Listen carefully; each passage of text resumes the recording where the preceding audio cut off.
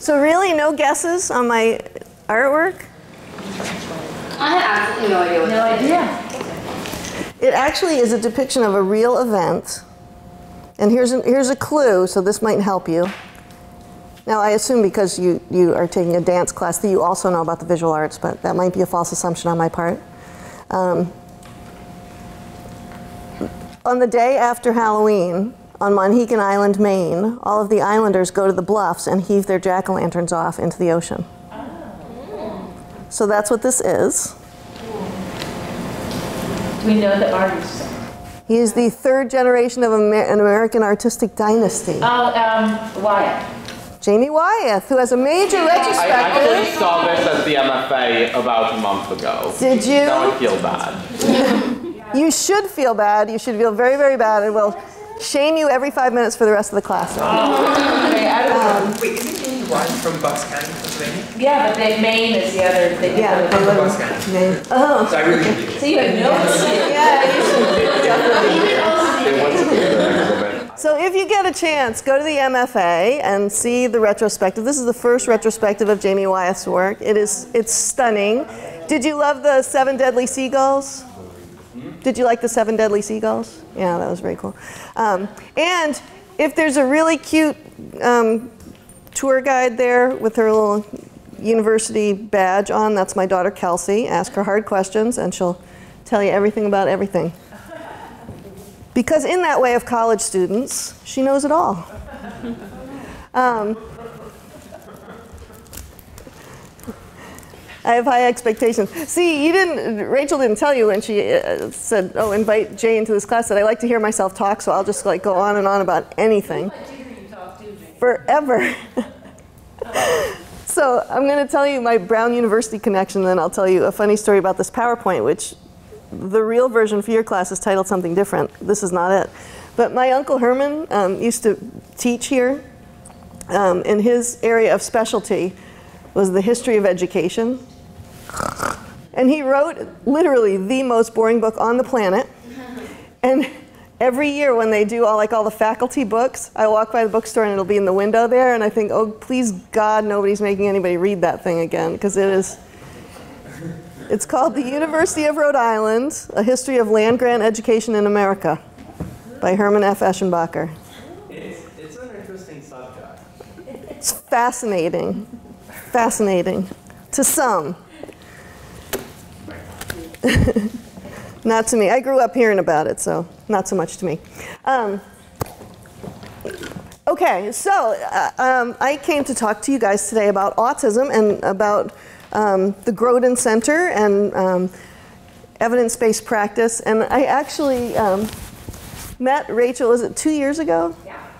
Two years ago and I got a phone call that said, We're doing this artists and scientists in partnership thing, and these dance for Parkinson's people are going to be there, and we want you to come and be on this panel. And I, I said, But you know, I'm a behavior analyst, right? She said, Yes, so we want you to come and be on this panel. And um, I had to keep checking with people that I hadn't been mistakenly invited to something that I, I shouldn't actually be coming and talking to, because I am a behavior analyst. But um, apparently, it all works, so I'm, I'm good with it. So, thank you. And I also, as I let everybody know two years ago when I talked, I'm an excellent dancer. And there's probably like Facebook evidence right up now from my niece's wedding this weekend, where um, the crazy aunties displayed their dancing prowess. Um, so just give me a little 70s funk and soul, and I'm good to go. Um, yeah, so I should have put a little Parliament Funkadelic in this, and then we could have all had a party. All right, so let's talk about autism, and I'm going to give you an introduction to sort of my take on things. Um, and I always start my lectures with this quote from Max Weber, and you get extra bonus points if you know who Max Weber was. Anybody take philosophy? No? No? Um, Max Weber is considered one of the fathers of contemporary psychology. Um, he Clever was- Frederick Law, Yeah. yes. perception and intensity. Yeah. You'll see you've redeemed yourself now for not knowing who Jamie Wyeth was. Good. I'm glad. Um, it is disturbing to me as a parent, though, that you're putting that cheese right on top of your computer, like it's a little table.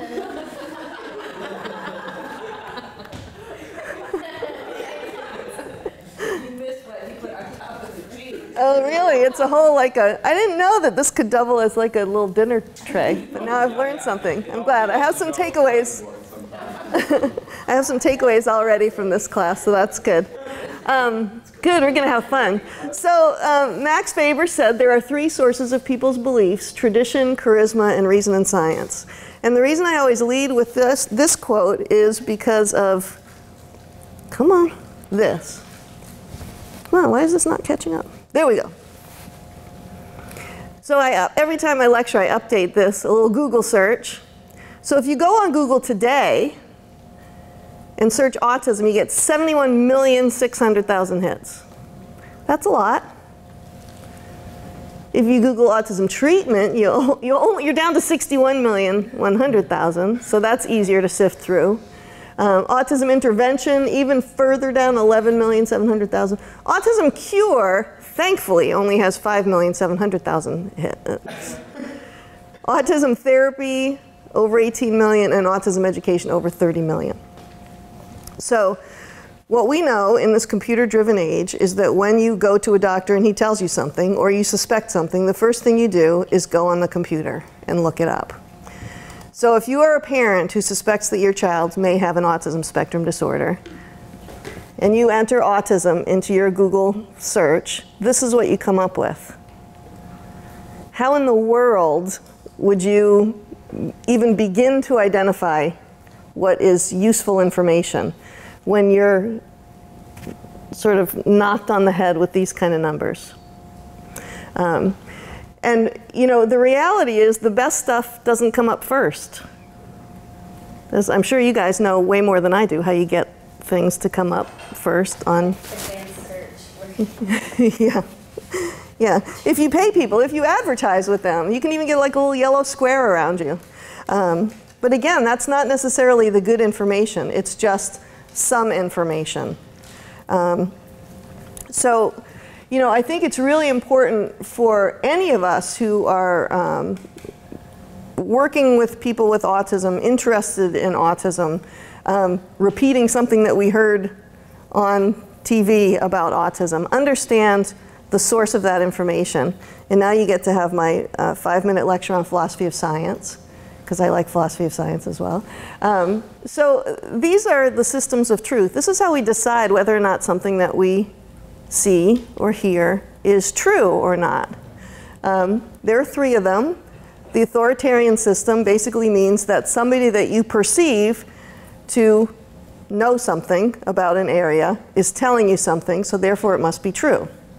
So today I'm going to tell you a lot of things, and probably you're going to assume that what I'm telling you is true because I've been invited here by people in your class who know me a little bit from coming to see me in my office. Um, but really, how do you know that what I'm telling you is true? Is it my charming personality? You know? Constant fact checking while you speak. That's. That's right. That's why you've all got your computers open. You're going to check on every single thing that I say. Um, you have a lot of information to shift, sift through, though, so I know I've got a little bit of lead time.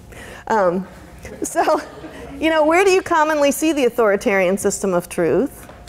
Often in advertising, you know, all those 9 out of 10 dentists surveyed recommend Crest. Well, they didn't tell you what they surveyed them about. It could just be that they like the blue box or something, you know. But they've, so we believe, oh yeah, they must know what's happening. Um, I actually had a professor in grad school who knew a lot of things, but when we, he would get annoyed with us in class if we asked him too many questions, and he'd say, I just told you that that's what it is, so just leave me alone. And we're like, hmm, that doesn't seem right. Aren't you supposed to teach us to ask questions about things? Um, but anyway, sometimes we believe things because somebody tells us. If you know somebody gives me a whole bunch of facts about the weather, who am I to question if you know if they're a meteorologist? I assume they know something. Um, phenomenology is basically means that you yourself have experienced something, and therefore it's true, which seems pretty reasonable, right? Because it happens to you, so That must be right. Do you know the biggest problem with phenomenology? Distortion of perception. Mm-hmm, Yeah, what we behavior analysts call superstitious behavior. So, we as humans like to connect events and assume that there's a causal relationship between events. And I'll give you an example of this. When I was in grad school, I had this really old uh, Volvo station wagon that when I bought it, it had 365,000 miles on it.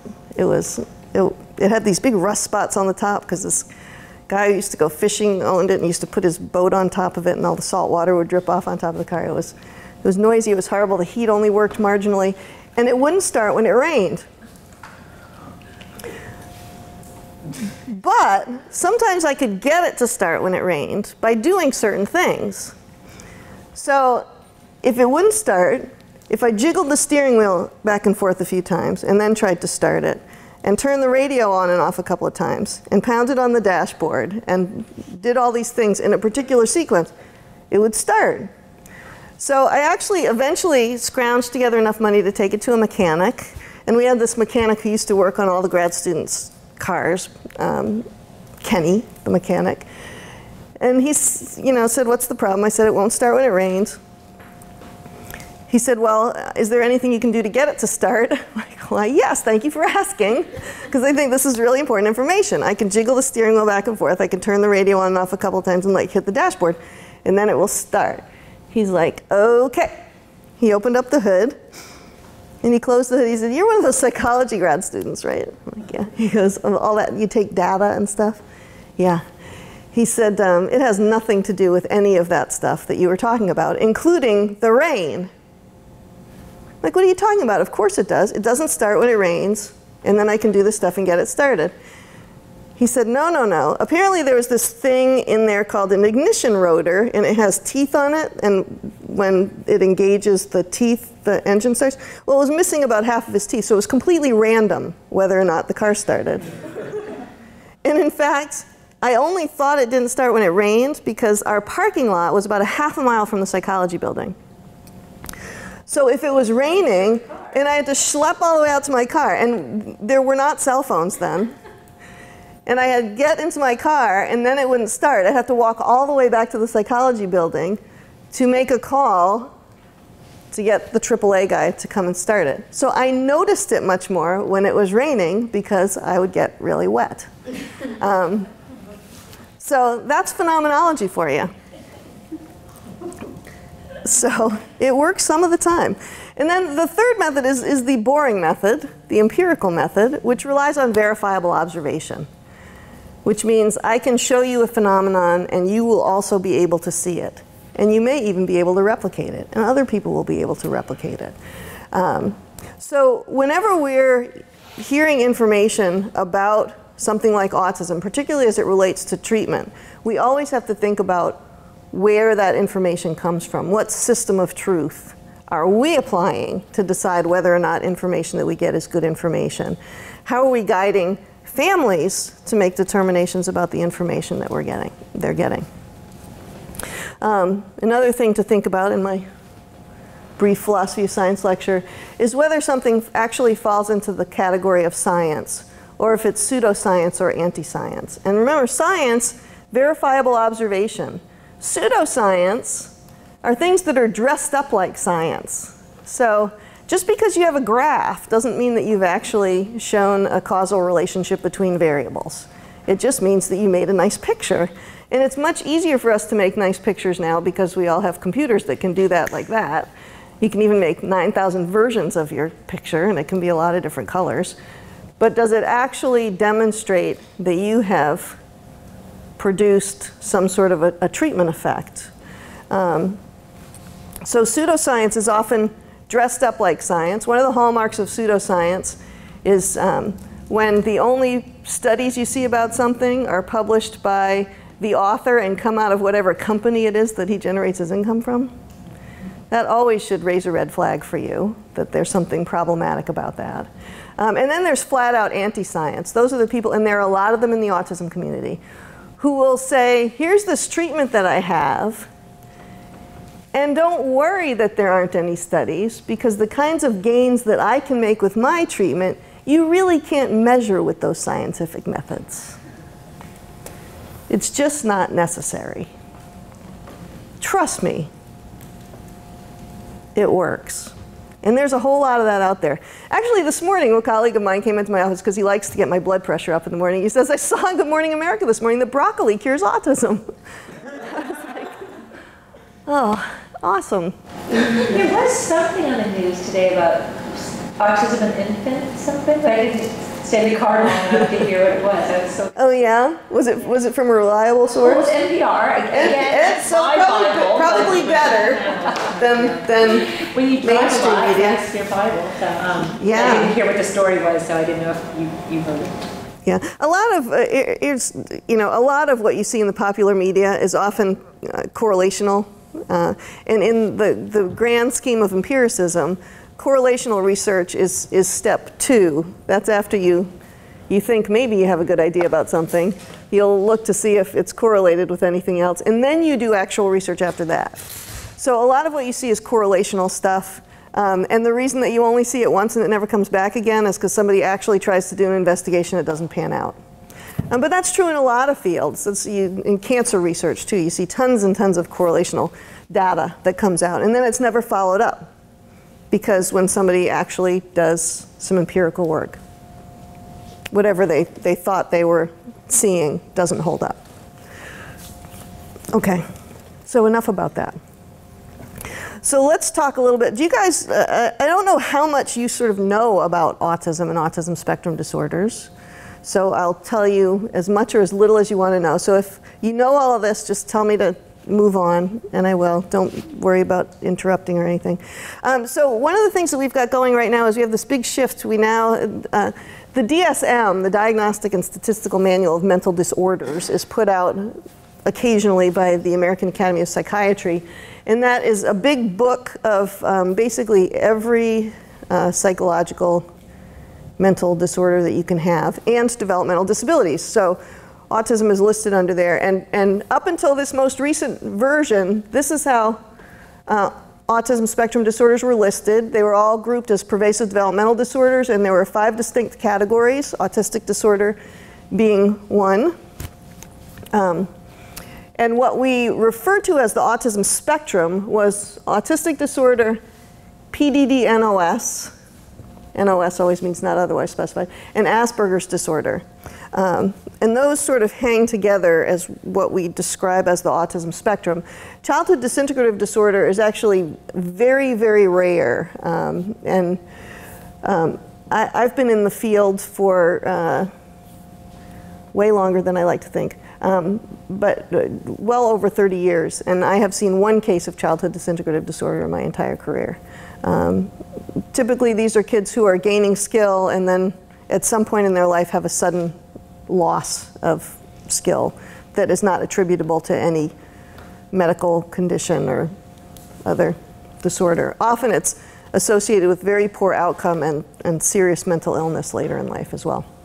Rett disorder is actually a genetic disorder um, that uh, is degenerative over time in terms of motor functioning and occurs mostly in girls. Um, so what happened was when they moved the, to the new DSM-5, they decided to shake things up a little bit and change the classification. And now there is only going to be autism spectrum disorder. So those three things, um, autism, PDD, NOS, and Asperger's, are all going to be called autism spectrum disorder now. Um, it doesn't mean that anything's gone away. The symptoms are still underneath that broad umbrella, but there's not going to be these three distinct diagnostic buckets. But if you were diagnosed with Asperger's prior to when this goes into effect, and this has not been widely adopted in this country yet, you can still keep your diagnostic category. You get grandfathered in as having Asperger's. Um, so, uh, a little bit of history. Um, autism was first identified by Leo Kanner in the 40s. Uh, he was working at Johns Hopkins University, and he described a number of cases that he was seeing uh, under this, uh, uh, this label of infantile autism. And Kanner, uh, what Kanner thought in the 40s about these kids that he was seeing was that they seemed to have some sort of innate intelligence. So he, he felt that the disorder was not like intellectual disability or what we used to call mental retardation, that these were kids who cognitively were intact, but because of these behaviors that, that we were seeing, this autism, they weren't able to show what it was that they knew, essentially. Um, from Kanner's time through the 50s and actually into the 70s, the, the, the feeling was that um, these kids were like this because of something that their parents had done to them uh, when they were young. That, and not necessarily overtly, but that their, their mothers were, were cold and aloof and um, not particularly interactive, uh, and that is what caused autism uh, in kids. And if that's, if that's what you think causes autism, what would the logical treatment be? To remove, to like smother the imperfection, I guess. And the, the first word that you said is actually accurate the remove. If, yeah, if you take the child out of that environment, then they should be okay, right?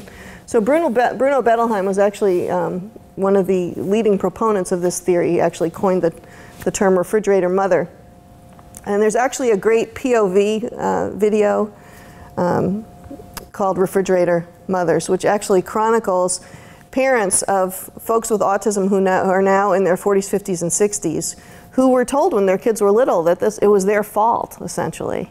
Uh, and then they were subjected to, the mothers often got intensive psychotherapy, um, and the kids were often removed uh, from their home and, and put in institutions. Bettelheim had um, a, a large institution. Actually, in the central courtyard, he had this big sculpture of a reclining woman. Um, and they used to encourage the kids to hit it and spit on it and walk all over it, and so that they could, um, I don't know, I guess, get back at their mother and become non-autistic. Um, they were never able to adequately describe why only some kids in one kid in a family might have autism and not the other. So if the if the mother was actually causing this, obviously she was picking one of the kids and not all of them. And then uh, they couldn't. Bettelheim couldn't really explain why kids didn't then recover after they took them away from their parents, um, or why the other parent wouldn't have made up for the problem with the. Well, there were a lot of flaws in the theory, let's say. Um, in 1964, Rimland, uh, Bernie Rimland published a book on infantile autism, and this was the first um, sort of very cohesive account as of autism as having a neurobiological basis. And that continues in contemporary theory. What we know now is that uh, folks on the autism spectrum have neurological differences from typically developing folks. Um, the problem is it, there are a lot of different neurological differences, uh, so it's not one thing. There's not a medical test that can detect autism. Um, but um, it, we do know that, that there are neurological differences in everybody who has an autism spectrum disorder. Um, except in France, where they still, still, uh, in France, yes, France. It's a modern European country. Psychoanalysis rules the psychology field in France still. Um, no cognitivism, no behavior analysis, nothing. And in France, kids on the autism spectrum are still basically identified as having become autistic because their parents are basically doing something to cause this. Um, it's, it's baffling to me that, that it could be this way. But. I mean, it's so cultural though. Yeah. Such a cultural like outcome. Yeah, and uh, you know, in in France, if you have a child on the autism spectrum, your child is not. They're not required to, to school your child. Really? Really. That's Yeah. awful. Yeah, so they stay at home or you pay big dollars out of your pocket to get somebody to provide a. Until nine years ago, kids with AIDS couldn't use private school, public schools in France. And this was nine years ago. People with AIDS couldn't go to school. Yeah, so it's, well, I'm, I'm glad to get some confirmation of, you know, strange, strange things happen in France. Um, so, and, and um, in terms of treatment, essentially psychotherapy, particularly for the parent, gradually gave way to more behavioral approaches uh, to therapy. So, what are the what are the behaviors that we're seeing? What are the skill deficits that we're seeing? Let's work on building some skills. Um, and then in 1987, it was really a turning point in the in the field. Uh, Ivar Lovaas from UCLA published the first outcome study of um, intensive behavioral treatment for young children with autism. And um, in 1987, I had been working professionally in the field for five years. I worked with kids with autism um, every day.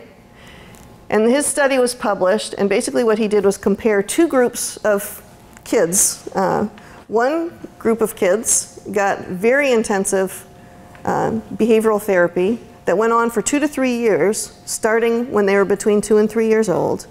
The other group, so they got that for 40 hours or more a week. The other group got 10 hours a week or less of the same treatment. And what he found was that of the group that got the very intensive treatment, 47% of those kids, IQs came up into the normal range, their language functioning came up into the average range, and behaviorally, they became virtually indistinguishable from their peers and they went on to regular kindergarten and first grade. Of the group that got 10 hours or less, less than 10% of those kids had that same outcome. And the lion's share of those kids ended up uh, requiring very significant intervention um, for the rest of their lives. Now, in 1987, when this study came out, nobody believed it. And because it was the first study of its kind, really, there wasn't the preponderance of empirical evidence to cause the field to shift and say, yes, this is the treatment of choice. Uh, it took many, many years um, for replication studies to come out. Um, and now it's, very, it's a very well established finding that if you get kids on the autism spectrum when they're young enough and you do intensive enough treatment, you can achieve very good outcomes in a significant percentage of those kids.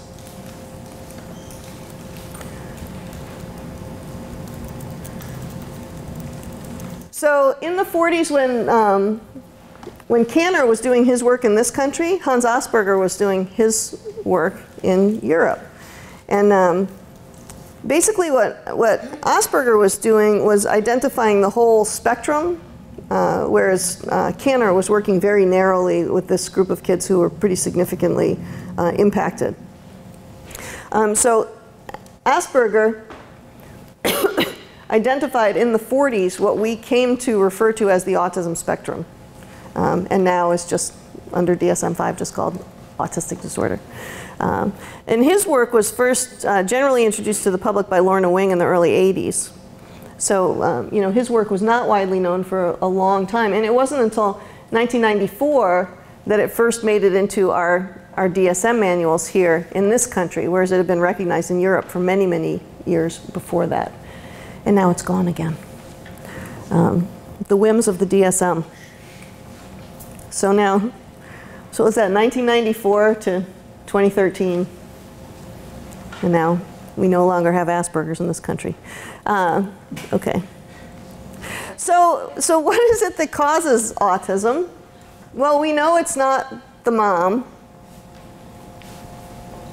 So, so what is it? And this is one of the, the, the problems that the field still has. Uh, we don't have a good answer for what is it, other than something has gone wrong neurologically. And whatever it is, happened very early on. Um, there are, if you get into the genetics literature, the medical literature, there are hundreds and hundreds and hundreds of studies looking at uh, cell division, there are various neural structures, um, various clusters of genes. Um, and again, what they're not finding is something that's sort of a unifying theme throughout the whole spectrum.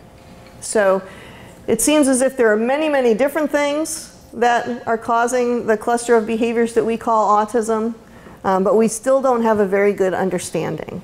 And this is one of the reasons I think when you go onto Google, you get 71 million hits. Um, because if we had much more clarity about what it is that caused it, I think people would be much less likely to sort of grasp at uh, whatever it is that, that, that comes along.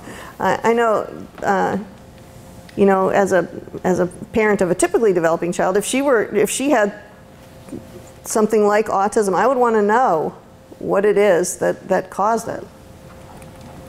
Um, so in the genetics fields, early studies uh, showed that there is heritability. Uh, autism definitely seems to run in some families. Um, there are a lot of twin studies out there now. Well, not a lot because it's twin research, so there's only so many you can get. But um, the early studies showed a 94% concordance rate in monozygotic twins, which is very high. The interesting thing, though, is that one of the twins could have very severe autism, um, and the other twin could have Asperger's syndrome. So there was not concordance on symptomatology or outcome, um, but just on being on the spectrum. um, so again, most researchers believe that there isn't a single cause, that there are a lot of things that produce the cluster of symptoms that we call autism. Okay. Ooh. So what are, oh, let me go back to that, sorry. So what are some of the things that you'll hear, though? Uh, uh, vaccines, has everybody heard about vaccines? Yeah, I got, I got my flu shot yesterday, and of course we had to send, uh, we had a flu clinic at one of our schools, and one of the teachers came in and said, this parent wants to know that there's not thimerosal in this vaccine, which is a, a uh, mercury-based preservative. And in fact, there isn't. Um, and in fact, there isn't in all child vaccines now in this country. Um, it, it's not vaccines. Uh, there are very, very good studies from all over the world that show that it's not vaccines. It's not some big cover up by the CDC. Um, actually, Iceland is where some of these best studies come from because it's a relatively small population. They have really good socialized medicine, so they get all kinds of data on everybody in the country. And they know exactly in Iceland when thimerosal became an ingredient in the vaccines, when it stopped being an ingredient in the vaccines, when they did the triple jab versus the single jab. So they know all of that. And there were no changes related to any of those things in the vaccines. That being said, there is a risk to getting any vaccine. So is it possible that someone could have had a severe reaction to a vaccine or someone could today have a severe reaction to a vaccine and end up with the cluster of behavioral symptoms that we call autism? Yes. It is very, very tiny. So, you know, people point to the, the uh, you know, upward trajectory that the, the prevalence rates of autism are at now and say it's, it's vaccines. It's not vaccines. Uh, gastrointestinal issues, gut-brain problems people often talk uh, about. Um, again, there's no data that, that uh, demonstrates that. And in fact, one of the studies um, that everybody points to uh, by this guy, Andrew Wakefield, um, it actually turned out many years later that he had faked his data. So he had actually published a study that showed that uh, actually subsequent to the MMR vaccine, that kids developed gastrointestinal issues and autism. Um, but yeah, it was not true. He lives in Texas now, by the way. He used to live in He's from Warwick? Great Britain. Huh? No. No, no, no. Texas. He lives in Texas. He's from Great Britain. Um, uh, allergies. Uh, people have said exposure to heavy metals, mercury in particular, um, all kinds of things. Um, and none of them have panned out when you actually do the research. Um, but, you know, how do we explain these big changing rates? When I was in an undergrad, uh, getting my degree in special education, it was one in 10,000 kids had an autism, had autism. And now it's actually 1 in 68, uh, the CDC's new numbers. So, how do we explain that? Well, it's not easy to explain that. Um, peop some people say we're overdiagnosing, but the, the best um, numbers show that the increases in prevalence basically coincided with our um, expanding of the diagnostic category. So when it was 1 in 10,000, we were using Kanner's definition of autism, and now we're using Asperger's definition of autism. So it's a much broader uh, group of people that we're capturing. Also, many, many uh, folks who are now diagnosed as autism used to be diagnosed as having mental retardation. Uh, and now they're classified under autism spectrum disorder. So we've gotten a little more sophisticated in our diagnoses. Um, autism is an equal opportunity disability. It occurs pretty equally across all racial, ethnic, and socioeconomic groups. Um, so if you, you know, wherever they're diagnosing, you'll find basically the same numbers. Boys outnumber girls by four or five to one. This is not unique to autism, though. This is common to many developmental disabilities. Genetically, boys are the weaker sex. Um, and it's true. Sorry, guys. Uh,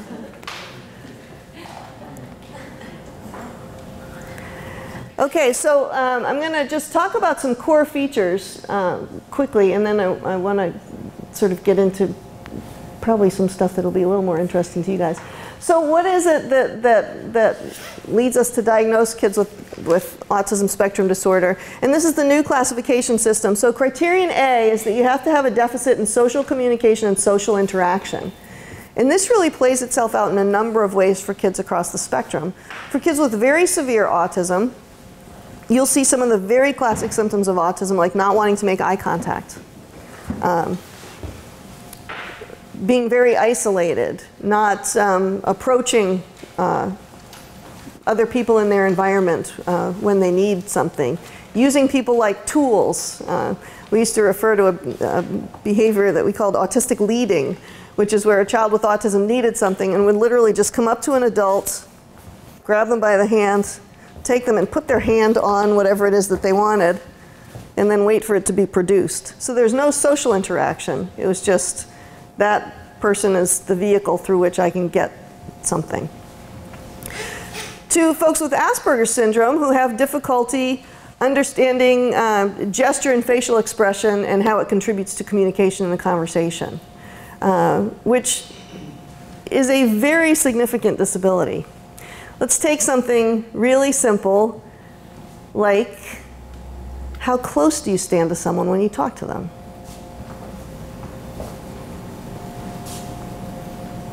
How close do you stand? What's the rule? College guidelines are arm's length, Arm's length? Is that, provided that in by the the Office of Student Life. Yep. really? College students. Did you Google that? Why they walk around like that? Oh, because they were tired. They couldn't see. Actually, we're having a zombie simulation going on right now. No joke. It's pretty serious. Excellent. Um, so, uh, you know, arm's length is an okay rule. Do we stand arm's length away from everybody that we talk to? No. Some people you stand much closer to. Uh, I was actually pinned to a wall by my ex-husband's aunt and uncle who were close talking to me at this wedding that I was at this weekend. And I'm like, please step away. You're way too close to me. Um, we all have different comfort levels. And remarkably, the people in our environment typically stay about the right distance away from us when they're talking to us. How do they know? Body, body cues. Exactly. Exactly. We communicate through our facial expression, our body posture, very subtle things that we do. And we, as the receiver of that communication, use this tiny little area of our frontal lobes to make these really split second social decisions that we're not even aware that we're making. But because neurologically we're intact, we can do that. So we decide pretty immediately when we're talking to someone how close to stand to them. Now, if you're someone with Asperger's syndrome, and I've witnessed this myself, and you seen in the high school hallway, Child with Asperger's walks up to a friend to tell him something, gets a little too close. What does the friend do? What does the kid with Asperger's do? Until the friend is against the wall and is no longer your friend because you're talking too close. Um, so all of these nonverbal communicative behaviors are just whoosh, lost on uh, many folks on the spectrum. Um, many folks who do learn these nonverbal communicative forms process them much more slowly and seem very awkward and sort of stilted in their interactions because of it. Um, which is why it's no mystery that number three occurs, which is difficulty making friends and maintaining relationships essentially. Because many folks who are um, functioning really well on the spectrum just have a lot of difficulty interpreting what's going on in the social world. It's, it's a very daunting task. Um, actually, in the, in the verbal communication part of this, I worked with a kid in, in, uh, in New York who was a high school student who had done very, very well, um, was really doing well in class, and, and um, when I would go and consult in his building, he would always avoid me because he knew that it wasn't a good idea to be seen with that autism lady. So he was very sophisticated about that. He never went to the special education room because he knew that he didn't want anybody to see him going in there. So I got a call one day that he was in there and he was very upset. So I knew something really bad must have happened. So I went to his school and talked with him, and the problem that had occurred was that a girl in the hallway had told him that he was hot. And his response was, No, I'm not. I wouldn't be wearing this sweatshirt if I was hot. And he knew right away that that was not the right thing to say, but he couldn't quite figure out where his error was. And, uh, you know, immediately went, was very upset to his teacher. He knew that that was the wrong thing to say. What should he have said instead? Uh, she explained to him over and over that it meant that the girl thought that he was cute and he had to be reassured. Maybe he really was hot. He, the nurse took his temperature. No, he was fine. Um, you know, and this went on for literally two hours. And then he was angry that someone would trip him up like that. Why did she say that? Why would she say that to me? If she thought I was cute, why didn't she just say I was cute? Why did she say that I was hot and then make me this upset? So he really couldn't get it. Um, younger kids on the spectrum, who, who picks their nose here? Really? That's what tissues are for. Yeah, that's what your mother tells you anyway, right?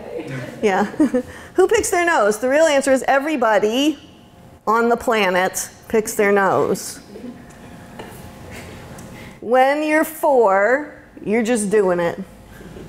By the time you're six, you swear to God that you never do it. What changes? Social. Exactly. Yeah, social expectation. When I used to do a lot of school consultation, and the array of things that the teachers would complain about about the kids, always on the list was, can you get that kid to stop picking their nose? If you don't respond to the social cues, you then become the kid who picks their nose in class. And that's not a good thing to be socially. It doesn't help you when you're trying to make friends. Um, but again, if you don't access those social cues, you know, nobody says to you, okay, here's the thing. Now that you're in kindergarten, don't pick your nose anymore. You have to hide it. or people won't like you. Nobody ever says that. It's not like this thing that goes on in the locker room at the local elementary school. But we all have figured it out just by responding. Okay, so what are the, some of the core features that are affecting kids? And these are very important. Number one is imitation. When do typically developing kids start imitating? Who's taken Psych 101? Child development. Exactly, from birth. I know her. She's, she's wicked smart. Um, From birth, kids imitate, and then they use imitation. We, we use imitation now. When's the last time you spaced out in class? Like five minutes ago. Um, what's the first thing you do? You know, you're at a meeting, you're like, oh, wow, I was just lost for a little. What's the first thing you do? You look at what the person next to you is doing. Am I sort of where I'm supposed to be? Um, you know, I remember when my daughter was in high school, she loves it when I talk about her and I lecture too. Um, you know, she would spend hours getting ready to go somewhere with all of her friends, and she'd be, you know, convinced that she had this completely unique outfit, and all of her friends would come over and they would all look exactly the same. Imitation, social imitation. It's a tool that we use to learn. It's how we regulate our social behavior. If you go to another country, watch what the other people do. If you're sitting at a restaurant and you have 9,000 pieces of silverware, you wait for someone else to start or do you know exactly what to do? You know, we figure out what to do by watching people around us. Many, many, many folks on the autism spectrum do not imitate spontaneously. Uh, and it's a real handicap in terms of learning very basic skills like how to talk. Uh, and, and here's my two cents on integrated classrooms, by the way. The assumption of most integrated classrooms is that just by putting a child with a disability next to a child without a disability, that child with a disability will learn from that child without a disability. It actually works beautifully with many kids with disabilities. Kids on the autism spectrum, not so much, because they have very decreased skills in the imitation department. And unless you get in there and you do something about those skills, you teach kids how to imitate, that's, they're not going to be able to use that behavior throughout their lives. So we spend an awful lot of time with our very young kids working on imitation, starting with things like do this, do this, do this. Um, working up to vocal imitation, imitating in a general classroom setting, and teaching them how to use imitation as a tool to learn from the natural environment. Joint attention is another one of those skills that typically developing kids just do automatically. We don't really know how they do it. It's just this magic that comes with neural development. And again, is a natural tool for learning. So joint attention is a three-way relationship between a communicator, a communication partner, and an object or an event in the environment. So if you're my communication partner and I said, what's that? What am I referring to? What's that? The camera, yeah. How did you know? I don't know, you were looking in that direction. Yeah, she watched my eye gaze and saw, she knew I was talking to her. I shifted. I looked back. I shifted again. She was like, oh, that thing. It's not that kids on the spectrum can't do it, but what we know is they do it only about 25% of opportunities that are available. And if you look at really good child development work just on language development, Hart and Risley did this phenomenal study on language development in indigenous populations in Alaska.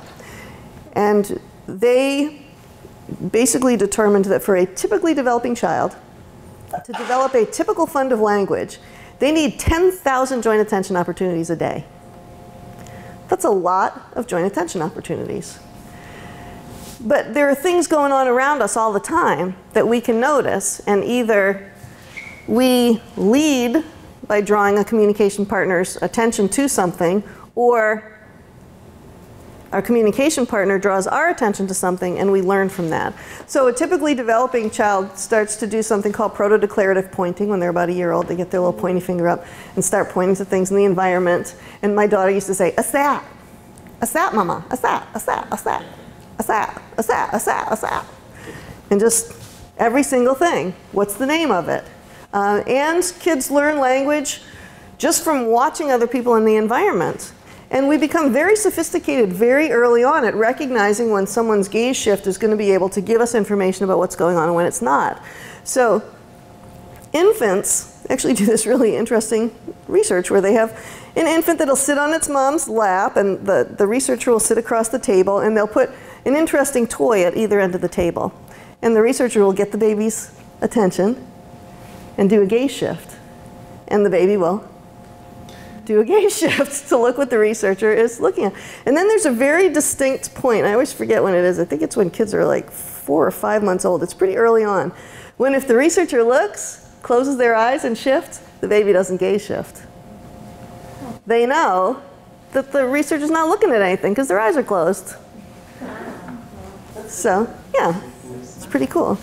Um, see, next time you're somebody's baby, little trick you can do. Um, yeah, so again, we use joint attention all the time uh, to gain information from the environment. And this is how that huge language explosion happens for very young kids when they go from having two or three words to having like 9,000 words in the course of just a few months. So if you're only able to recognize and use about 25% of those opportunities, you're at a pretty distinct disadvantage. Okay, so the next area, and this is one I will spend some time talking with you about because in, in your area of study here in this class in particular, this is an area I think where there's a lot of opportunity for exploration. And this is the area of restricted and repetitive patterns of behavior, interests, or activities. So folks on the autism spectrum, in order to be diagnosed with autism, you have to have at least two of these things. So stereotyped and repetitive motor movements. And for kids with very severe autism, we will often see kids who do a lot of rocking, hand flapping, um, spinning things. They'll do repetitive, non-functional activities with objects in their environment.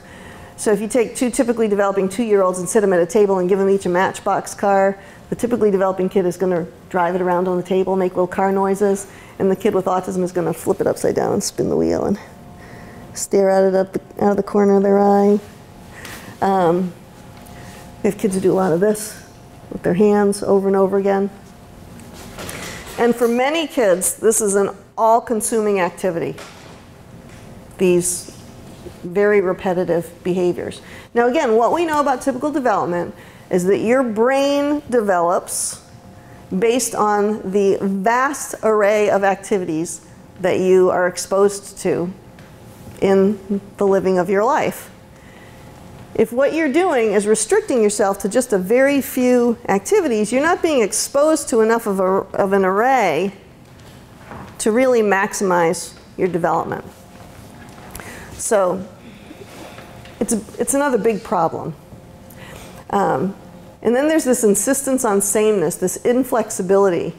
And I think these two things can really compound. So if you have a kid who is um, very uh, prone to engaging in stereotyped behavior, and they also are very inflexible, when you try and break in and get them to do something different, they're going to be very resistant, uh, and often you'll see big problem behavior.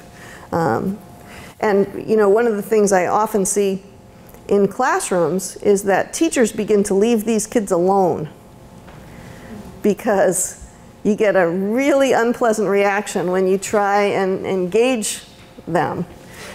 And what we know is that the more these kids are going to be left alone to engage in these very restricted patterns of behavior, the more difficult it's going to be to have that child engage in more a, a more typical array of activities.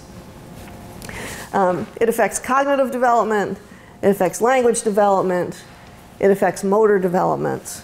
I mean, think of all the things that typically developing kids do to develop their physicality. Uh, and we've got kids who are not engaging in those things. Um, one, because often they have some, some gross motor in particular uh, delays. Often kids on the spectrum are a little bit clumsy in terms of gross motor skills, but then they've got these restricted and repetitive patterns of behavior that are sort of layered on top of that that can be a huge, huge problem. Um, what I see with our adolescents at the Groden Center is that many of the kids have terrible posture. Um, when they're walking around, it's with their heads down. Uh, they often develop this interesting gait that, that I swear somebody needs to do a research study about this because I see it in many, many, many of our severely affected kids, where when they're walking, they're doing this. It looks very odd. Um, and if you think about how we get social information from our environment, it's when we're walking with our heads up and we're engaging with people. And if you're not doing that, if, if your gait that you've developed is this very downward gait, you're not getting that social information. You're not getting the same reaction out of people in your environment. Nobody's likely to initiate an interaction with you if that's how you're walking around. And I see it in, uh, in our folks with Asperger's who come into our clinic. I see it with our kids with really severe autism. I see it across the whole spectrum. These differences just in, in physical carriage that have an impact socially. Um, this also, I have to tell you, for folks um, who have higher functioning autism and Asperger's syndrome, is an also often an area that can make social inroads for them because we see kids who develop real pockets of expertise. Uh, so, um, you know, if you can sort of channel this with those kids into things that are likely career paths or, um, you know, areas that can help them to be assets among their peers, uh, it can be very helpful uh, in the social arena. Um, I'll tell you another funny story. My, the, the kid who's got upset because the girl called him hot. I got called to his school another time because he was going to get suspended. And I'm thinking, what in the world could he have done to get suspended? He's like, never gets in trouble, ever. So he's sitting in the principal's office, and he was irritated, clearly, about this whole thing. He could not understand what the big deal was. Why were they making him sit there? Why did somebody call his mother? I, he doesn't understand. I said, well, what happened? Uh, so the principal says he, he, he was in one of the teacher's classrooms while she was out to lunch, and he took her computer apart. And he said, he was very exasperated, and he said, I was going to put it together, back together again, like I'd done all the other times. and the principal was like, what? So apparently he'd had this pattern. uh, He didn't like to go in the lunchroom because it was a very overwhelming social situation. So he'd find a classroom where the teacher wasn't, and he would disassemble and reassemble the computer. What's the big deal, right? And it wasn't, apparently he'd been doing it for three years. He was a junior, and no one had ever discovered him until that day. And now he was going to get, and that's, this is why he couldn't understand it, because he's done this repeat, basically every day for three years. And why now was it going to get him in trouble? And he had a very particular interest in some particular component that he liked to see if it was in the computers. So he would take them apart. And then somehow, while I was there talking to them, I had my laptop bag with me. He got on the subject of my laptop because he was not going to let the whole computer thing go and why this was okay for him to be interested in this and take it apart. And he said, Can I take your laptop apart? No, you can't take my laptop apart. Well, I'll show you if it has that component. I'm not interested if it has that component. Well, he was, and he wouldn't let it go. So I had to promise him that I would bring the, the manual. That's when they actually had printed computer manuals, which you can't get anymore. The next time I came, and sure enough, he was waiting for me a month later at the door because he knew I was coming to show him the manual. And he's like, Yep, you've got it. Okay, you're good to go. I can stop harassing you about that. I imagine, I haven't seen the kid in probably 20 years. I imagine he's out there somewhere in the computer industry doing his thing. Yeah. Um, taking apart unsuspecting people's computers. So we, we did negotiate that all he had to do was apologize, and he was even PO'd about that because he did not understand what, what was the apology for. He hadn't done anything that was problematic. He was putting it back. To, the, the only problem was that someone had interrupted him before he got it back together again. That was the problem. It was not his behavior that was the problem. Okay. So then, um, continuing on in criterion B, so these restricted fixated interests that are abnormal in their intensity and focus.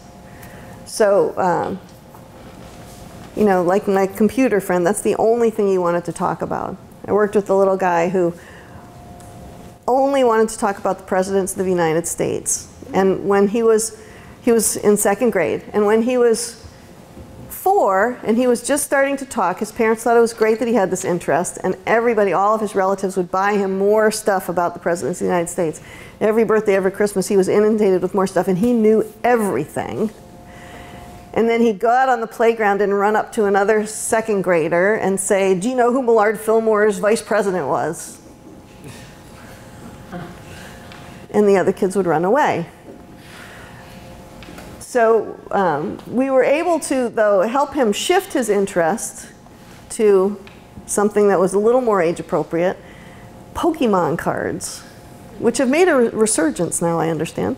Um, and he became the go-to guy on the playground for Pokemon cards because he, within you know the space of a couple of days, knew everything about them. All of their, they they transform or something, and they have powers, and you can get things. Yeah, people are nodding. You know what those are about.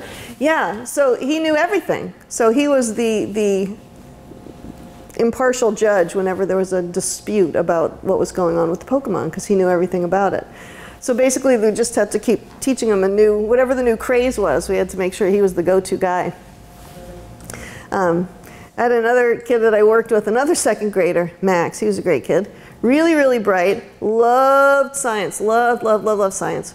The planets, dinosaurs, you name it. Anything that had to do with science, he loved it. All factual information.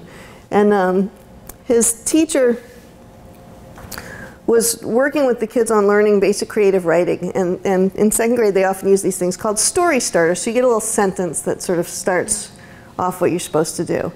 So the sentence that he got one day was You wake up in the morning, you look out your bedroom window, and there's a dinosaur in your backyard. And he refused to write. Wasn't going to do it. What's the problem, Max? It can't happen. Dinosaurs are extinct. But what if it did happen? Wouldn't that make it even more surprising? No. It can't happen.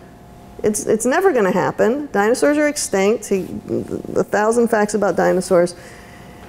You will never look out your window and there be a dinosaur. Well, will you at least write one sentence about it? No. I'm not going to write about something that's stupid. Wouldn't do it, wouldn't do it, wouldn't do it. The teacher was very exasperated. And this wasn't the first time they had had this conversation. This happened over and over and over again. And he finally said to me one day when I was trying to drag him through yet another creative writing assignment, he said, Dr. Jane, you just have to understand, I don't have an imagination. And he was unconcerned by that. He thought it was frivolous. Did he use the word frivolous? He, I'm sure he would have used the word frivolous. he didn't use it in that conversation, but he had many large vocabulary words. But yeah, he didn't see that as a problem. It was the facts all the time. All the time. It also got him into trouble because he would never remembered people's names because that was a fact that was sort of lost on him. So he'd, you know, be talking to other kids and he'd go, "Hey, fat kid." I'd say, "Max, you need to you need to say, excuse me, or uh, I'm sorry I don't remember your name. He'd say, why? He's fat. He knows he's fat. So it can get you in a lot of trouble to have Asperger's syndrome. Um, difficulties with sensory input. We were just having a big discussion about this today because we were talking about this kid with significant autism who he's just um, gaining some words. He's eight years old. Um, he can say no, which is great now because um, he couldn't say that before, and he's got a couple of other word approximations. And he randomly has these freak out tantrums where he will literally come at you like he's trying to rip your face off. And we discovered that they're all associated with like the sudden onset of some mechanical sound. The fan in the bathroom. Somebody using a leaf blower two blocks away. Somebody mowing the lawn. God forbid the truck comes to empty the dumpster out in the parking lot. He's all over you. He has this incredibly hypersensitivity to these sounds, and he has no way of processing them or communicating effectively. And what he does is attack the person who's nearest to him. Now, for him, what that usually results in is him being removed from the situation, which then ends his exposure to the noise. So we're actually inadvertently reinforcing this behavior by removing him when he has this tantrum. So we had this big discussion about how we were going to help him get to the point where he could independently recognize that there was a sound that bothered him, stay calm enough to get a pair of noise canceling headphones to throw on so he didn't have to hear it anymore. So that was the long term goal for him. Uh, so we had to get somehow from I hear a sound, I'm going to try and kill you, to I hear a sound, I'm going to keep it together, get my strategy, and, and be good. Um, you'll also see folks who are hyposensitive, so they don't seem to react to things like pain. Um, we had a kid in one of our group homes who broke his leg. He slipped on the ice, broke his leg, got back from the emergency room with the cast on his leg, and was jumping up and down on both feet in the living room. Broke the cast, had to go back, actually get surgery because now he had displaced the fracture that he had, uh, and, and they basically had to keep him very medicated while this healed because he did not seem to respond to the pain of a broken leg. So obviously that's extreme, but we see things like that uh, with folks on the spectrum. It's, it's interesting, uh, and we don't quite know what it is that, that is driving that particularly either hypersensitivity or hyposensitivity. You'll see kids who only want to wear a certain kind of clothing, can't stand tags. Um, I worked with a kid who never wore socks ever. He just could not stand to have them on his feet. And um, people used to talk with his mother all the time because in the winter he'd come in with no socks on and they were like, oh, that mother, she's terrible. Why doesn't she put socks on her kid? I'm like, you know what? He made it to school. That's really good. Um, but yeah, he wasn't having it. He wasn't going to have socks on. I had another kid who could not go in the school cafeteria because the, the smell would just, well, it overwhelms the best of us, but all of us. But he would go in there and he just, he, he literally could not handle it. And he would get nauseated and, and uh, have to leave. So he ate his lunch in the guidance office his whole three years of middle school because he just couldn't ever deal with the cafeteria. We have uh, folks with a lot of food sensitivities um, that uh, won't eat certain textures, um, won't eat whole categories of food. I worked with a kid who only ate white food. Um, remarkably, there's quite an array of, of white food out there that you can, I mean, cauliflower, the inside of apples. My daughter did that through high school. Did she? Yeah, white food? She had cream cheese on white bread. Mmm. That actually sounds good though. My daughter eliminated orange foods for a while, but she says it's my fault because she used to. We, we lived in, on Long Island and we'd take the ferry over to um, visit her grandparents, and she used to get sick on the ferry. So I would give her chewable Dramamine, and they were orange. So she says it's my fault. No, it's, she wouldn't eat any orange things. So, Yeah. question about the boy who didn't respond to a broken leg. I wonder whether he responds to milder pain, not something so painful, because it could be an information overload. Yeah, he didn't. He didn't really seem to. He was not a kid who we ever. You know, we sort of had not thought about it with him until this very dramatic event happened. But then we were talking about it. He was never a kid who seemed to get hurt or get bothered, like if he had a little scrape or something. Interesting. So not at all. Not if you poach, uh, poke or just pinch something. He didn't like to be touched, Oh, so I don't know. but we were never sure if that was social or if that was a, a sensory Yeah. Thing. But yeah, he didn't. He didn't really like people in his space. But yeah, he was not a kid who would uh, react when when he was sick. You know, you'd notice he was sick if, you know, his face was red or something, and then they take his temperature, and be like, oh, he's got a fever. He didn't seem to respond to a lot of those stimuli. There's actually some research on, on kids. Um, a fair number of kids with significant autism also have some pretty significant problem behavior, like aggression and self injury. And for kids with really significant self injury, and I'm talking about kids who hit themselves, uh, you know, bite themselves hundreds of times a day. Those kids often have um, changes that you can see in the innervation of their, their dermis. And, but nobody's ever really sure if that's what allows them to continue to engage in self injury or if that's a change that is the result of years and years of chronic self-injurious behavior. Um,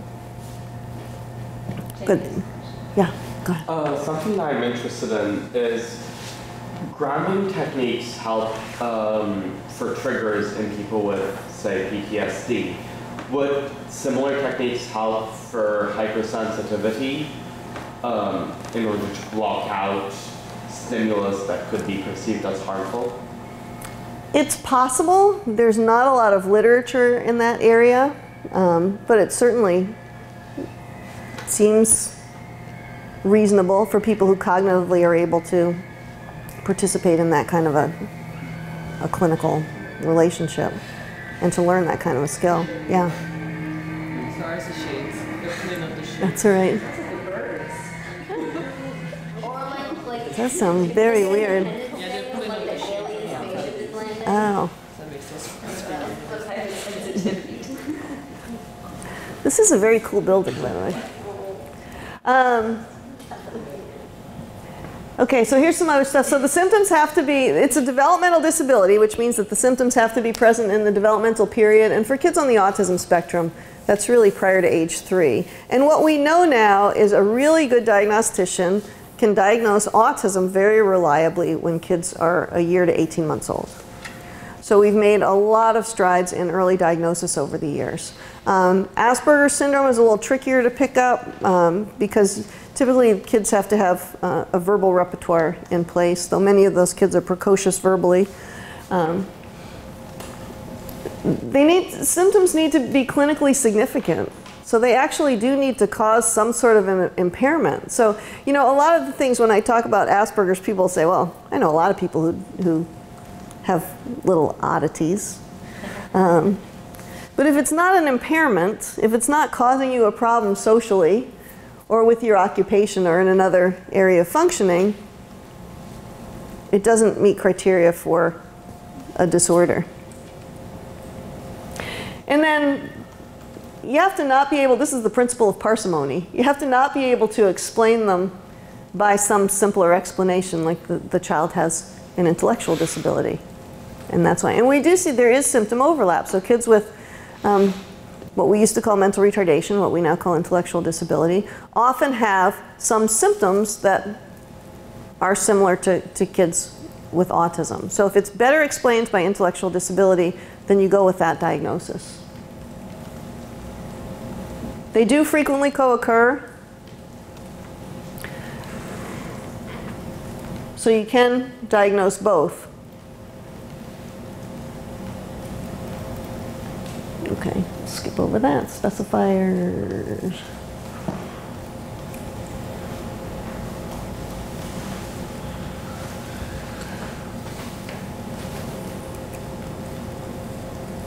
Okay, so let's look at some common characteristics again. Okay, so many kids on the spectrum have strengths. A lot of kids have very strong visual spatial skills, much stronger than, than other skill areas. Um, so often visual supports can be helpful for folks or, or visual learning tools can be very helpful. Um, often a very strong, as in my friend Max's case, factual rote memory. So if they know something, they really know it. Um, I have learned that if a, if a kid with Asperger's tells me something is true, I should never question it because it will be true. All I have to do is Google it and confirm it. Um, with folks with Asperger's, they often have average or above average IQs. So these are, these are kids who are bright. And this is what Kanner thought in the 40s when he was first looking at kids, even with more significant autism, was that they seemed to have, that's okay, they seem to have um, some innate intelligence.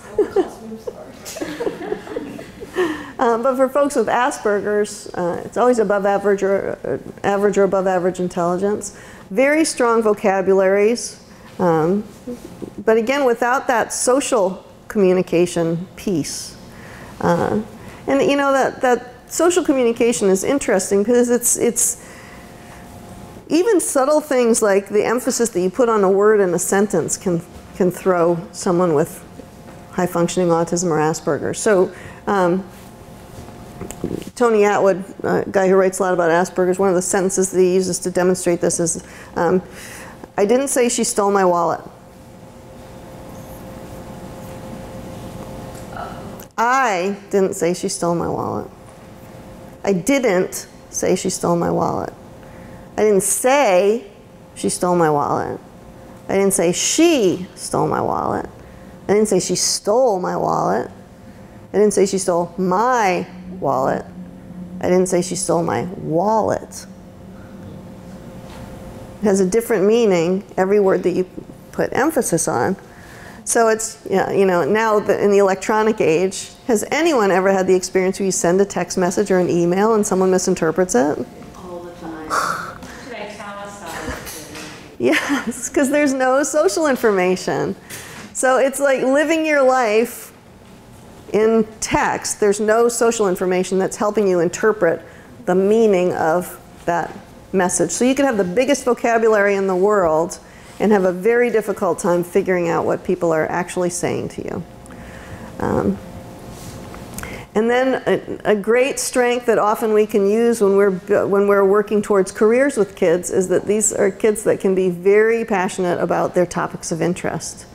Um, we have a guy that works with us now at one of our programs doing data entry, and um, he plays in bands on the weekend. He plays in like three different bands, and I was, you know, I was talking with another musician friend of mine about this kid. Not that I was talking about him, but we were talking about how challenging it must be for him because that's a very social environment when you're playing in a band. You know, people want to talk to you before, people want to talk to you after.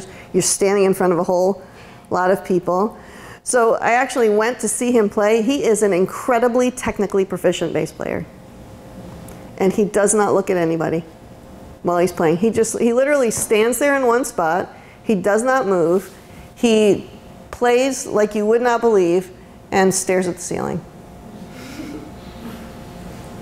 And he's in demand because he's really good. Um, and he's, he'll talk with you about playing the bass too. Very, very passionate about it. But he looks a little strange on stage. Um, but he doesn't care because he's doing something he loves. Um, other things you'll see, very short attention span. A lot of kids, we try not to sort of uh, comorbidly diagnose ADHD with autism spectrum disorder because we know that folks with autism have short attention spans. It doesn't seem to be the same as otherwise typically developing folks who have ADD or ADHD. Difficulty with organizing information. Um, we see a lot of even really bright kids who have very difficult time with what we call executive functioning, so getting started with something, getting organized to do a task, um, keeping their books together for school, um, getting assignments done on time, um, those kind of things.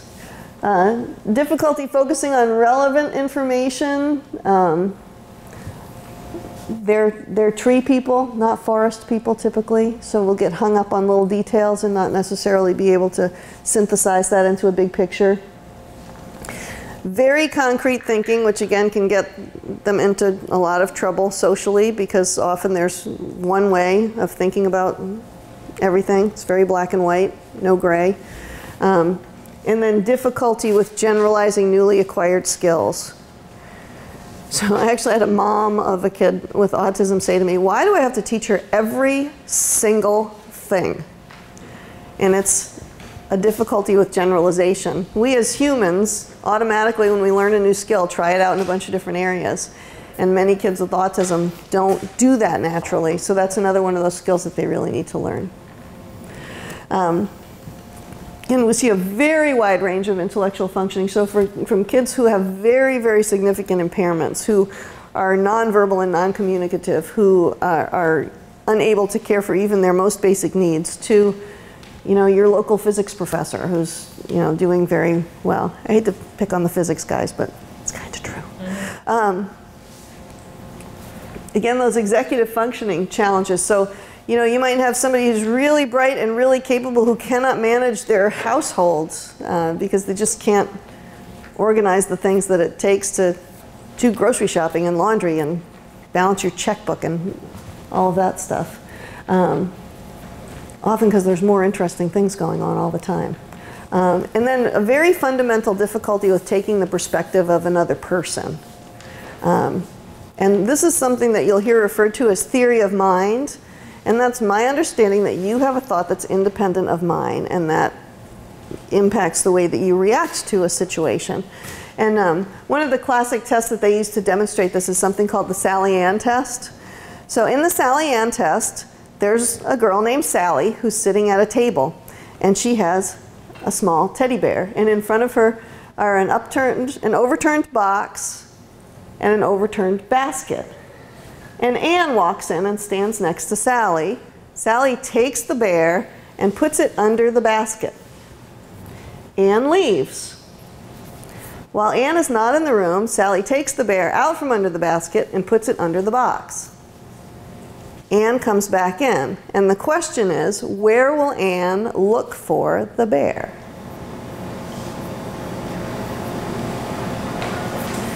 Well, if you have autism, you'll probably say under the box. Though 90% of, of population would say under the basket. Pretty much any kid over the age of three will say under the basket. And if you ask them why, they'll say because that's where Anne saw her put it. Adults with Asperger's will say under the box. Well, why would she look for it under the box? Because that's where it is. But she didn't see it there. No, but that's where it is. So where will she look for it? Under the box. Okay, let's walk through it. Anne came in and saw it go under the basket. Then she left and came back in. Where would she look for it? Under the box. Why would she look for it under the box? Because that's where it is. Okay, she didn't see, Anne didn't see Sally move it. Doesn't matter. That's where it is. So really simple tasks that require perspective taking um, are often very, very difficult uh, for folks on the spectrum. So what's the person think, what are they thinking when they go to the box? That's, that's the problem. The, the, the person with Asperger's is literally not able to step in the shoes of the person who's seeing what's happening, cannot understand that that person has a different perspective than what they have seen. And that's simple a task. So even simple things like why is a child crying? Let's say you know you show somebody a picture of a kid with an ice cream on the ground and the child is crying. Why is the child crying? I don't know. Well, look at what's going on in the picture. Do you see there, there, there's an ice cream on the ground in front of them? Yep. Why do you think the child might be crying? I don't know. Is that more prevalent in Asperger's? Well, they're, they can describe. They can describe it so you can, you're understanding it better. Yeah, it, it's you see it across the whole spectrum. So we'll, you know, for kids who are um, lower functioning, we'll literally see kids who, who will sort of, you know, just barge through a crowd of people with no recognition that, you know, somebody might be standing in the way or want something that they want or, or grab things from people and no recognition that that individual may somehow be invested in that interaction. Um, so yeah, it's pretty, it's pretty pervasive. Um, a lot of folks with, with Asperger's describe themselves as visual thinkers. So, and uh, Temple Grandin, who's a famous person with Asperger's, uh, wrote a book actually called Thinking in Pictures. I'm reading her books for Tuesday. Are you? Um, she's, if, if you get a chance, check her. Uh, I mean, she speaks very frequently nationally. You can see her, as my mother calls it, on the YouTube. Um, um, she'll call me sometimes. Your brother told me to go on the YouTube and watch that video of you. I'm like, Mom, it's not a thing. It's just YouTube. She can't get it. Um, Okay, so what are some speech and language challenges? So um, we do have a lot of kids who are nonverbal or don't acquire language spontaneously. Now this is an interesting advance that we've made in the field. When I started in the field, um, 50% of kids with autism never learned how to speak. And they never did. They were functionally mute their whole lives. Now, with really good intervention, about 85% of kids with autism will learn how to use at least functional verbal language. So, at least enough language to get their basic needs met. And many, many more kids become conversant because we're much, much better at knowing what to teach and when to teach it in terms of language acquisition. And we're doing things like teaching imitation and joint attention so kids are able to use more natural learning opportunities in their environment. We see lots of kids with what's called echolalia, which is just this sort of reflexive repeating of what it is that other people say. Um, so if I said, hello, Emma, she would just repeat back, hello, Emma. And it would just go on like that.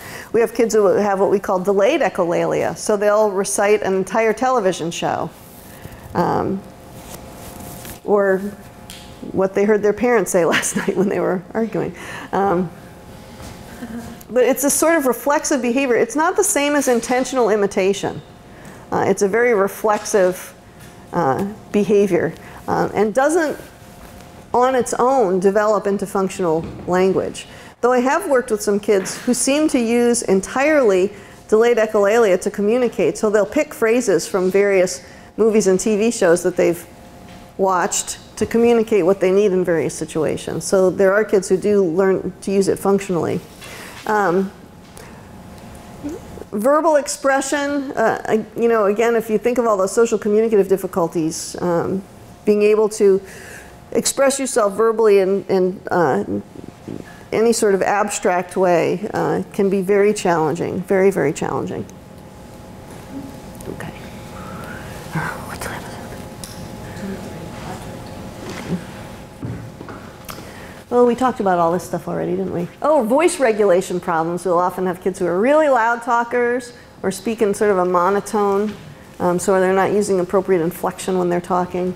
Um, I've heard people describe it as sort of the robot voice. Kids with autism learn how to talk, they sound very robotic because um, they're, not, they're not picking up on those social cues that allow them to use inflection appropriately. Um, implied meaning in language. We used to do a lot of joke telling. Just a second.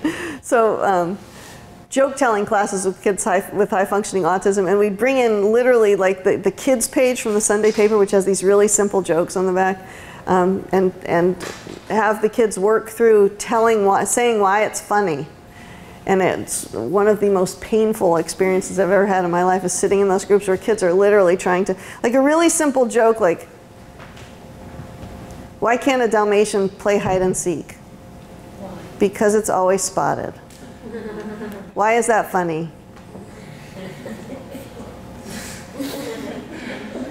It's really not. You know, why would people think that's funny? And, you know, it's this sort of academic exercise of pulling apart the verbal structure of this joke to say why it's funny. And by the time you've done that, it's really not funny anymore. So you can imagine how tricky that is then if you're in the typical high school with the kind of verbal interaction that goes on, and that kid is back on, you know, joke or idiom number one, trying to figure out what that kid was saying, and everybody else has moved on in the conversation. Um, okay. Go ahead. Uh, so I'm studying cognitive neuroscience, and a lot of what you're telling us fits straight into an intro classes curriculum.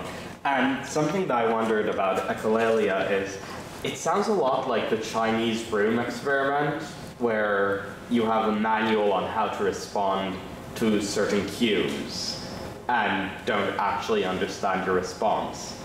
Is, can that be the situation with people with autism? Could it be that they're just regurgitating things that they've observed as being conventional to say? How are you? Fine being a good example. Um, it's possible with straight up echolalia, they, you'd say, How are you? They would literally just say, How are you? in exactly the same tone and inflection that you said it. Um, and it's, it's typically with more significantly impaired kids. So I don't know that, that anyone on the spectrum with echolalia has sort of been able to give enough information about what's going on for us to sort of figure that out. It's possible, and there, you know, I know a, a, number of adults with Asperger's syndrome who, you know, what you're saying is absolutely true, where they sort of learned that you have to say this response to this thing that comes up in the social environment because that's what everybody expects you to do. So you just do it. Um, and then our, um, you know, have a really difficult time with more spontaneous language. They're very good with the rote. Actually, an interesting thing, my dad a few years ago had a stroke in his left thalamus and could do very standard rote conversations. But you'd ask him a, a different question. No, so I could give him the cell phone. He'd talk to my daughter. She'd say, "Hi, Grandpa." He'd say, "Hi, hi, baby. How you doing? Good. How are you? What are you doing today? Okay, good." So he'd do these very standard things, and it was basically because that still, I don't know how to describe it, existed in his damaged brain as an, an appropriate response, but nothing that was sort of spontaneous and novel could come out. So depending on where the neurological damage is, perhaps. Um, I, that question taps on to how you explain autism, and I recently heard a very powerful hypothesis that is the central coherence hypothesis, which is that children will. Go ahead. that um, ASD people, they basically can't, they can perceive specific information details, but have problem putting everything together as an entire entity. So for example, they can pay great attention to details, and they enjoy doing that, but they suffer from seeing the whole picture. So they suffer from uh, um, putting things together and just making things as, a, as coherent as one piece. So some people saying this argument, this uh, proposing this hypothesis believes that uh, ASD is not a social deficit. It's simply a, a problem with information processing. And social scenarios, they have the most sophisticated patterns that even more sophisticated than visual patterns. So people, uh, so that's why they show some deficits in social interaction, but it's not because it's something specific to social. It's because social is the most complex and requires holistic processing. That's another explanation. So it's a different, uh, it's different from the Chinese room hypothesis, but I think it's a more Yeah, and uh, 2004 paper by Mark J. Brosnan says that uh, there is a deficit in gestalt processing in autistic people, which is a See, he wasn't kidding when he told me at the beginning that he was going to be Googling things as they went along. I appreciate that. Yeah, well, that, that is hypo- an hypothesis that you hear a lot of conversation about now at, at conferences. So it'll be interesting to see how that sort of plays out uh, over time in terms of, you know, one of the things that I always think is okay, um, that's that's a, an interesting hypothesis. Can you convert that into because I'm a I'm a treatment person. I'm in practice treating it every day. How do you convert that into an intervention that can help us make better progress for for uh, for kids? All right. So I know you've gone through a lot of this stuff already. So what can you what can you do about it? So here's here's things you can do and things you can buy. And um, I can tell you that there's no empirical support for any of the things on this, this list. Yeah. Well, and, and you know, a lot of people think, well, we'll do some of these things because they're really kind of benign. Why not? Wouldn't you try anything? Well, they're not so benign. So, for example, vitamin A in high doses causes irreversible liver damage. So you might think, oh, I read an article about vitamin A. I heard that on Good Morning America. I'll give my kid a ton of vitamin A. Not so benign. And often parents are doing things without talking with their doctor about it. Um, I had a mom who was literally getting in the mail these, you know, those dissolvable paper things that you can get them with like Listerine on them. You put them on your tongue and they go away. That were infused with who knows what. And she had never met this guy who was sending them, so she'd send him a check and he'd send her another pack of things. She had to call him, no, and she had to call him once a month and tell him about how her son was doing, and then he'd send her a new batch that might be different from that. That sounds totally sketchy. And I said, Does your pediatrician know that you're doing this? No. You know, crazy, crazy things. Did you find out what was nursing? No, no, she never had any idea what was in them. Is that legal? She probably found it on the internet, you know. Um. You know, she told me I, I gave her my best spiel about, you know, evidence-based practice and really needing to know. And um, she told me, well, she and her husband had talked about it and they decided they were going to give it a year. I was like, wow, that's a long time. Um, so social and educational and behavioral interventions, again, there's a ton of things out there. Again, on the internet, you know, 17 million things that you can look at. Uh, and the vast majority of them have no evidence to support their effectiveness in producing any sort of meaningful change in folks with autism. Um, but they're all out there. People will sell you all kinds of things. A, a, colleague of mine always refers to everything as this broad category of things you can buy. There are a lot of things you can buy. Um, one of my personal favorites is there's a guy who um, uh, sells this uh, CD, and apparently you play it while your child is asleep, and it turns on the, the eight developmental switches in your brain. So, so there are eight developmental switches in your brain, and this turns one. And the reason that he knows that it works is because he used to have autism. And I, I was talking about this with my staff one day because I would sort of run these little talks. So one of my staff people goes, So, did he invent the CD to treat his own autism and then he cured himself with it so now he can sell it to people? Like, I don't know how the whole process worked, but that was, that was his evidence. I mean, now he has a light too, so you can get the CD for, for nighttime, but then you can get the light that you can turn on during the daytime too, so you don't just have to do the treatment at night. It can be both day and night. Um, so, but what do, you, what do we really need to do? well, what we really need to do is address the core features um, and do it in, in a reasonable, intensive way using methods that have been empirically demonstrated to actually produce change. Um, so we need to look at building imitation skills. And I'll tell you, when Emma has been over to do um, the dance stuff with our kids at the center, it's been remarkable to me to see these kids who have very impaired imitation because they're doing something that's really enjoyable and you know the music that they pick is really fun and lively are doing these imitation tasks that are very difficult uh, for them to do um, you know those joint attention opportunities can i look at a teacher and figure out what they're talking about? Can i look at a peer and gain information from them there in the, in the environment? Communication that's central to everything. We really need to work on building communication skills.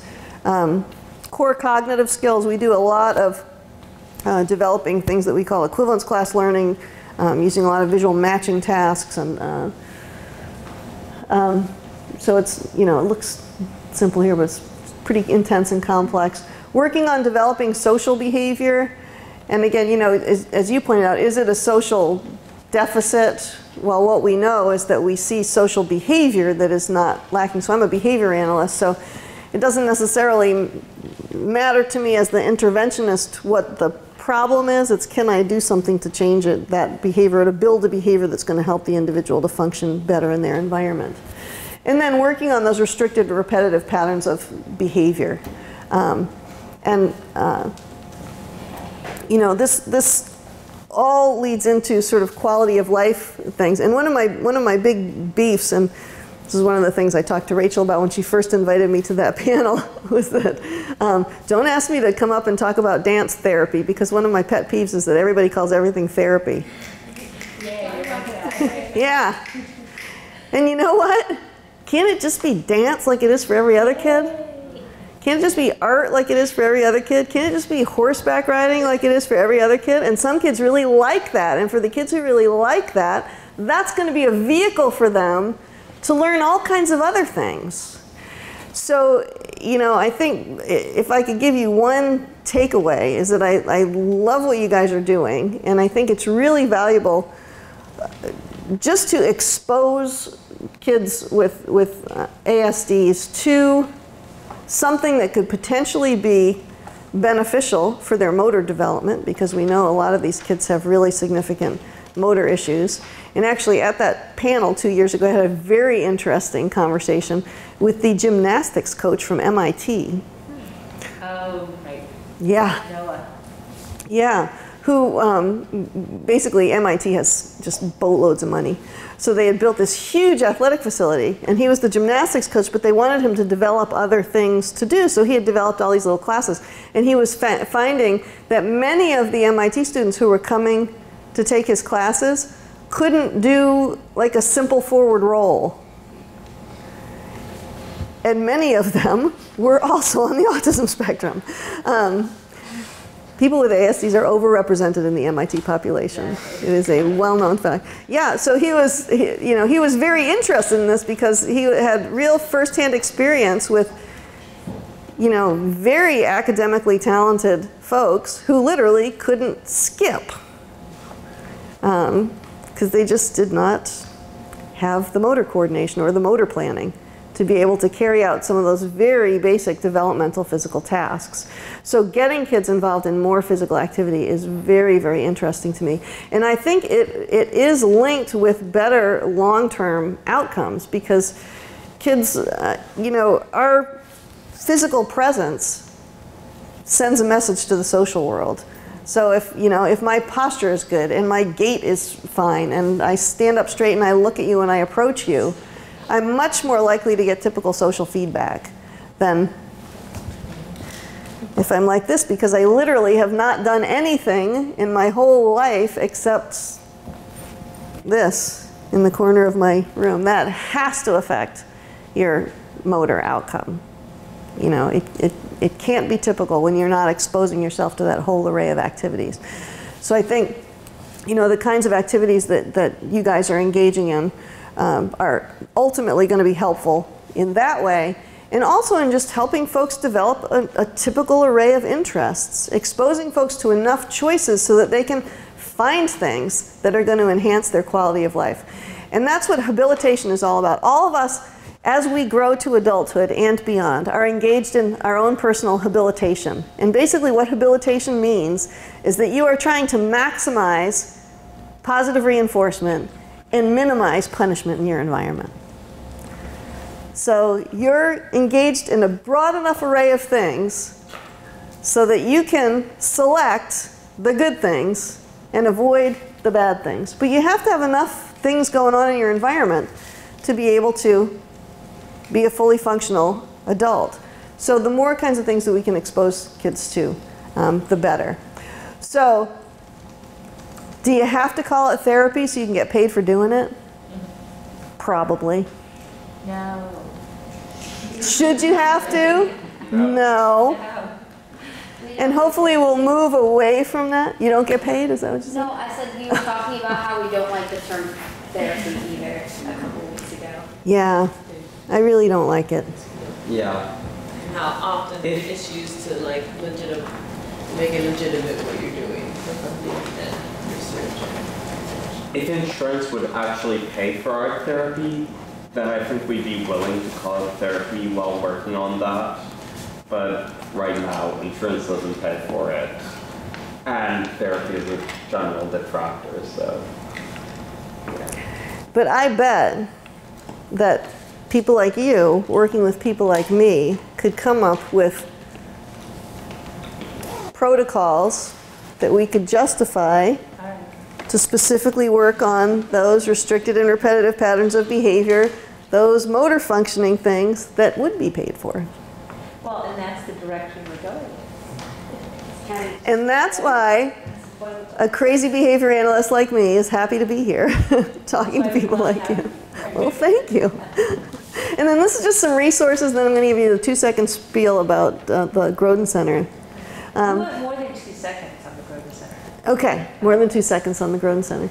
Um, so these are some resources for evidence-based practice. Uh, uh, the, the first one, published in 2001, is actually from the National Academy of Sciences. It was a consensus document on educating children with autism. It's a good one. Um, it's sort of general, but helpful, and a lot of parents have been able to use it to advocate for um, very core features of their children's educational programs. Uh, the National Standards Project is something that I'm personally involved in. I'm one of their expert panelists. Actually, the National Standards Project 2 is coming out. You can download their products for free if you pay for a lot of printer ink, or you can just write them a check and buy one, or they might even have that PayPal thing. Um, but they produced the report, which is long and uh, technical. But you can read that. They also produce a book of information for educators and a book of information for parents to help parents sift through the 71 million hits and figure out what actually has empirical support and what doesn't. Um, the Association for Autism Treatment, actually, it's the Association for Science and Autism Treatment, asatonline.org, um, also is a tremendous resource for figuring out what actually has empirical support and what doesn't. Um, and then the National Professional Development Center on ASDs. So this is their consensus document, which again you can download if you have a lot of printer ink. So the Groden Network, I passed out a couple of our brochures. Um, the Groden Network is, um, I have a very long-term relationship with the Groden Network because I grew up here in Providence and I went to classical high school uh, across the city. And um, when I was a junior, this, so this will give you a little context. When I was in high school, in gym class, you had to wear these blue one-piece gym suits that were really not attractive. And when you're in high school, we had co-ed gym, and the boys did not have to wear strange uniforms. They could wear gym shorts and t-shirts, and the girls all had to wear these one-piece blue gym suits. So it was an interesting social environment. So at the end of my junior year, a friend of mine came up to me and said, you know, we can get out of gym next year if we do this internship thing. Where do I sign up? and I actually ended up doing my internship at a very tiny school for kids with autism called the Behavioral Development Center, um, which had two classrooms. It was in a small building in a parking lot behind what was then the Rhode Island School for the Deaf on the east side of Providence. And it has grown since 1976 into what's the Groden Network now, which, and we serve about 650 individuals with autism a day um, in all of our programs. So we have everything basically from uh, early intervention, diagnostic services, early intervention for very young kids, to a full array of adult services. Um, we have, we're made up of four corporations. So there's the Groden Center, which is where I work, and that is services for people who are 21 and under in Rhode Island. So we have early intervention, um, an integrated preschool program. We have two school buildings for um, kids with significant autism and severe problem behavior who are around 6 to 21 years old. We have um, respite services. We're actually the largest respite provider in Rhode Island to families of kids on the spectrum. Uh, we have home-based therapeutic services. Uh, we have a clinic-based ABA program. Um, we have community support services, which includes our outpatient clinic, uh, where families come in, can come in and do family therapy or individual therapy. We also have a lot of groups for um, particularly teenagers with uh, Asperger's syndrome. We have sibling groups that we run out of that program. They also do our school consultation, and um, we do a lot of speaking engagements around trainings for other professionals in the area. Um, so that's the Groden Center. Oh, we also have therapeutic foster care, and residential care for kids with autism. Um, the Cove Center is our Rhode Island programs for adults with autism. Uh, so we have a whole array of vocational um, day service and residential options. So adults can live in group homes or they can live in family homes. Um, and we also do um, a program out of that uh, facility called Enhanced Outpatient Services, which is for folks with autism who are living at home who may be having behavioral difficulties and need professionals to come in for a short period of time and help their family sort of sort things out.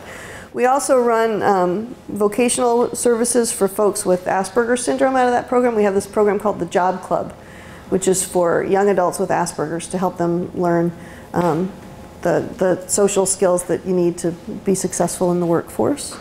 Um, and then we have a new collaboration with a group called Dean's List, which is um, basically a community-based program that's working on um, a variety of vocational and community relationships between businesses and, and organizations that serve people with disabilities. So that's the Cove Center.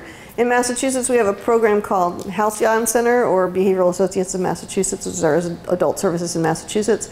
And then we have a charter school in, uh, uh, I guess it's in Wakefield, Saunderstown, which is a typical charter school. It's actually the number, number two charter school in Rhode Island. It's K through five. And their charter is on integrated programming. So we tend to have about 25% of the population down there who are on the spectrum. What's the name of that? Kingston Hill Academy. Um, we are, uh, we employ what we call evidence-based practice. So that basically means that all of us, when we approach a problem, approach it in the same way. We identify the problem that we're dealing with, whether it's a skill that needs to be taught or a behavior that needs to be reduced. We do an assessment of that behavior. We develop an hypothesis as to what is driving that behavior for that individual or, or what is causing the deficit. We rely on our knowledge of the empirical literature to select intervention, and then we monitor through data collection. Uh, and if we're if we've chosen well and everything's going in the right direction, great. If not, it becomes a big feedback loop where you look at the problem again, do another assessment, pick another reasonable intervention based on your hypothesis, and keep going around until we're successful.